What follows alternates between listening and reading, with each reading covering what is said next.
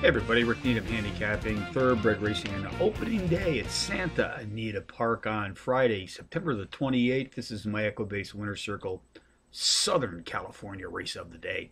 Take a look at the first stakes race on the winter card, folks, which of course will end up with the Breeders' Cup World Thoroughbred Racing Championships in November. It's a 24-day meet, racing day meet here at Santa Anita Park beginning today. Race 8, the feature, 4.37 p.m. Pacific Post Time. This is the Eddie D Stakes, six and a half furlongs on the shooted turf course, grade 3, three-year-olds and up race 4. $100,000. Contenders number 9, Red Sun. Number 4, Coast. Number 6, comma to the top, and number two, chosen miracle.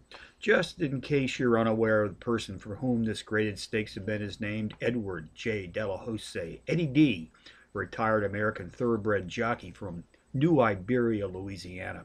Began his career in 1968 and 10 years later became the top American jockey with 384 wins.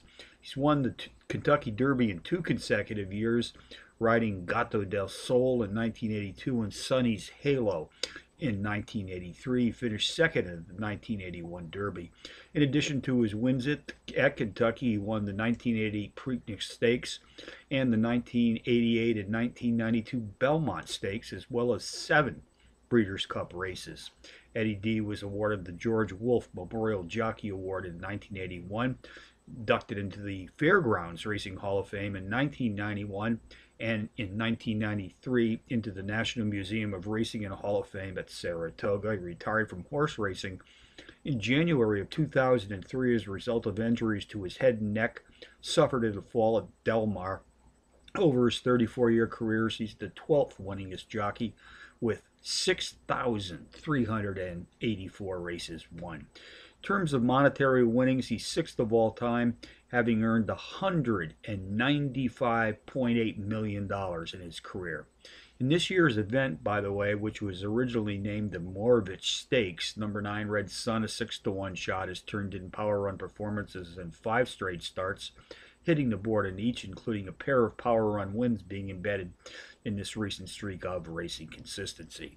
Number four, Coast, also 6 to 1 on the morning line, qualifies as a power pony. It's hit the board in power run fashion in four of his last five, winning in both his third and fifth races back.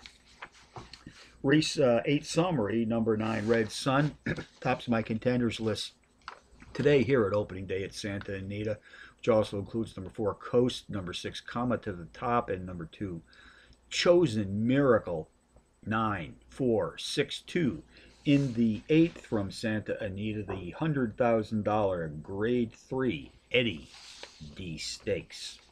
Bonus long shots Charles Town race 4 the 8 to 1 shot number 7 Warrior Waltz drops in class by six trackmaster units as the overall speed leader in this claiming field, sprinting at or about tonight's distance of six and a half furlongs on the dirt. Finger Lakes, race six, number three on to the next one. Six to one on the morning line takes a two level class drop.